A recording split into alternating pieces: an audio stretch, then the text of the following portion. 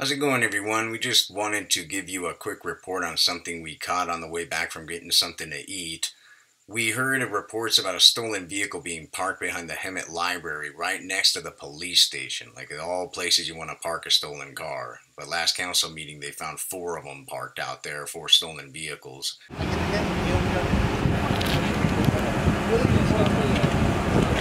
The guy that you seen being put in the back of the car was wanted out of San Jacinto for stealing at a Walgreens.